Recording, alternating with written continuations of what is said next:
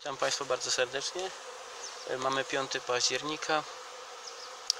E, Po kilku chłodniejszych dniach jest bardzo cieplutko, plus 16 stopni. Pszczółki sobie robią ładnie oblociki. Młode jeszcze się oblatują, niektóre jeszcze przychodzą z pyłkiem. Bardzo miły widok.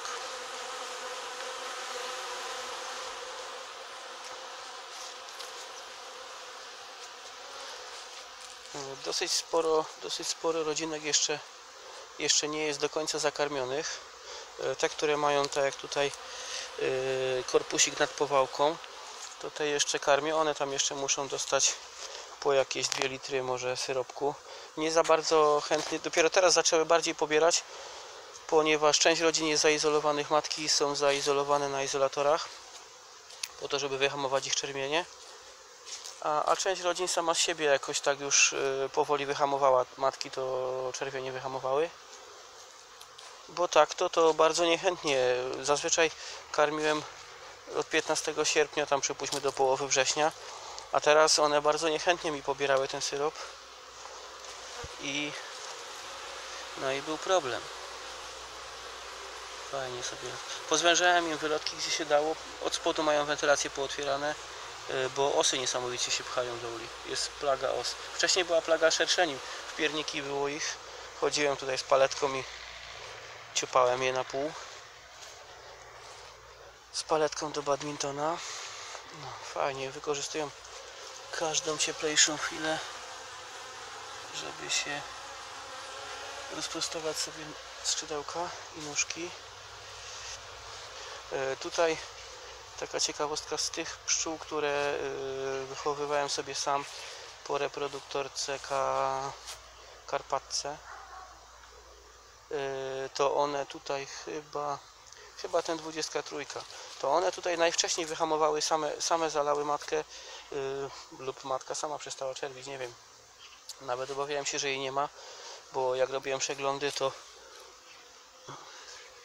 to nie było ani jednego ani jednego czerwiku, ani jednej larwy, ani jednego jajeczka i myślałem, że jej nie ma, ale ona była. Także ta cecha tu jest bardzo fajna i z tych właśnie karpatek one wcześniej wyhamowały czerwienie niż te inne matki. Ale tych miałem tylko chyba 9.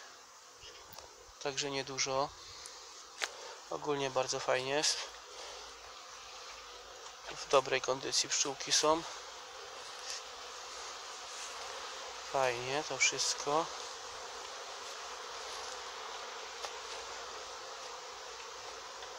Bardzo fajnie. Y, I tu znowu, i tu znowu już powoli do, miałem mieszane uczucia względem tych y, standardowych wielkopolskich uli, a tych osiemnastek, bo jednak w czasie sezonu z tymi osiemnastkami jest troszkę więcej kłopotu, bo jednak gniazdo jest na dwóch korpusach i więcej tego grzebania, ale z kolei właśnie y, przy zimie i przy, przy przygotowaniu do zimy znów okazały się lepsze, bo bo jednak sama ta matka zeszła na dół, u góry zalały cały korpus y, pokarmem i dużo wcześniej było już y, no, właśnie więcej mam tych 18 już, które są skończone karmienie przygotowane do zimy. A te wielkopolskie właśnie miały na praktycznie całej ramce czerw no i, i, i był problem z tym czerwiem, nie chciał się wygryźć i pszczoły nie miały gdzie składać tego pokarmu, który im podawałem syropu pszczółki sobie przychodzą z pyłkiem doładowane. Bardzo ładnie. I osy ręce się panoszą. A jedyny plus y, z tych os y, to to, że tam gdzie mam osiadkowane dennice, tak jak tu, nie wiem czy będzie a nie, jest szuflada włożona. Y, to jak były otwarte dennice te z siatką i spadywały po zabiegach warozy mi tu na spód, to te osy jednak te warozy zabierały. Mrówki też zabierają te, te warozy nieżywe. Także robią porządek. Fajnie sobie latają dziewczyny.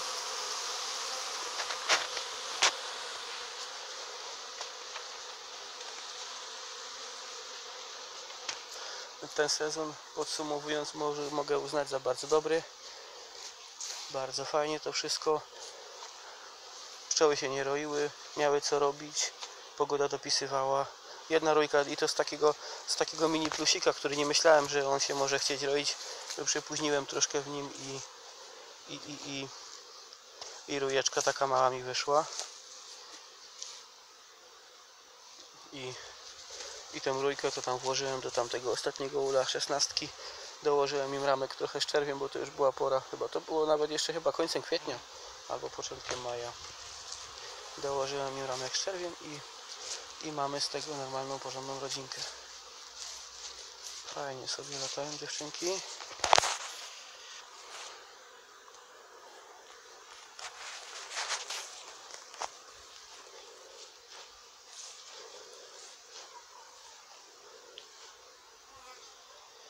Fajnie. Mini plusik.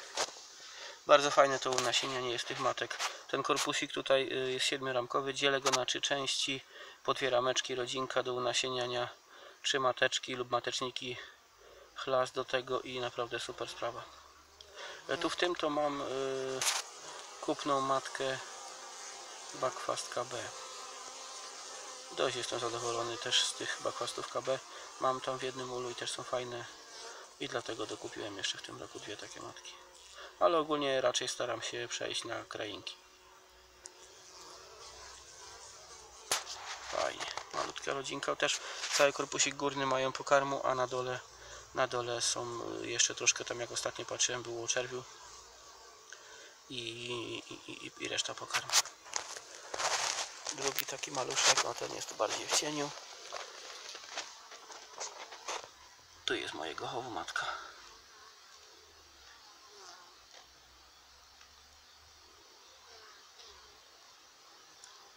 Cisza. Nie chcą za bardzo przychodzić, ani wychodzić. No i taka oto sytuacja. Pasieka jest już dosyć fajna. Podoba mi się. Sam jestem zadowolony.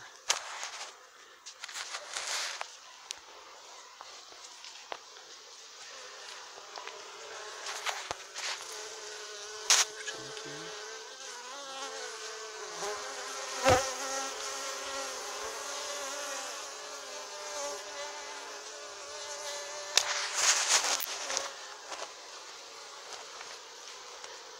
Dosyć długą przerwę miałem w nagrywaniu. Najpierw byłem troszkę chory. Później jakoś nie miałem natchnienia. Raz jakiś tam film nagrałem, ale, ale coś tam, jakiś błąd mi wyszedł i nie chciało się to odtworzyć, także Chciałem bardzo pozdrowić wszystkich oglądających,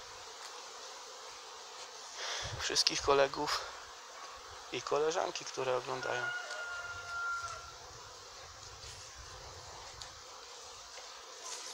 O, walka. Jakaś obca. Próbowała coś zrabować.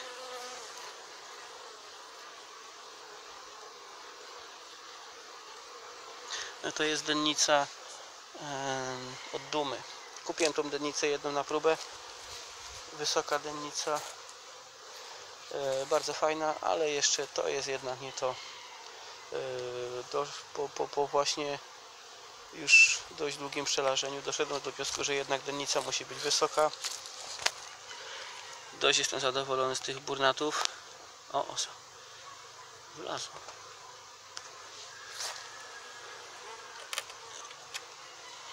ale jeszcze ale to jest jeszcze nie to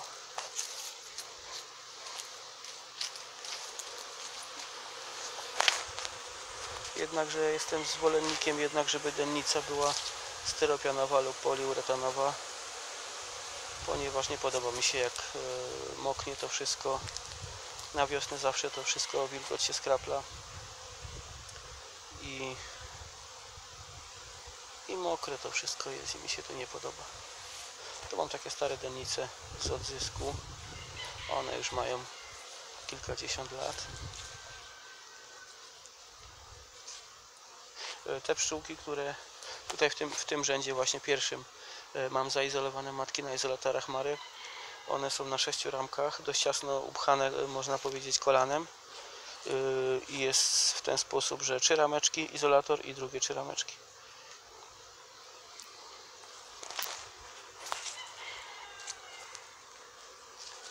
I tak to wszystko wygląda. Dobra, to by było na tyle. A może jeszcze jakiś Tak jak to mówi kolega z pasieki Krasnowo, bonus. Coś jeszcze Wam pokażę. I oto ten bonus. E, Na dole przepióreczki, bardzo fajne. Gołąbki cukrówki i bażanty bananowe. Bardzo fajne. E, Z tymi ptakami to była taka przygoda, że e, kolega mnie obdarował tym bażantem żółtym. No i trzeba było coś z nim zrobić, no to trzeba było mu zrobić klatkę. Musiałem taką wolierkę im tu zrobić. E, No to jak już zrobiłem tą wolierę, no to mu trzeba było zafundować dziewczynę, żeby nie był samotny. Tak wygląda. No to jak już była klatka, no to jeszcze do tego dokupiłem takie gołąbki cukrówki. Bardzo fajne. A żeby jeszcze im było weselej, to przepióreczki japońskie. Bardzo fajne. Super jajka znoszą, takie malutkie. A jeszcze, żeby była ciekawostka, to te przepióreczki są 5 razy większe od tych bażantów. I chyba nawet akurat ta, którą tutaj pokazuję, sieje postrach i znęca się nad tym bażantem, nad tą kurką dużą.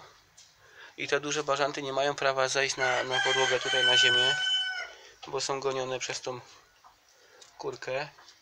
Yy, I musiałem im właśnie tam w tej górnej dziurze, w tamtej dużej budce drugiej górnej, yy, tam im dać jedzenie, bo, bo nie miały sobie jak pojeść bidulki. No tak.